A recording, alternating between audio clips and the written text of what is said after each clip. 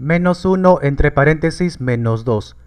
Como paréntesis significa multiplicación, entonces primero los signos menos por menos es más, ahora los números 1 por 2, 2.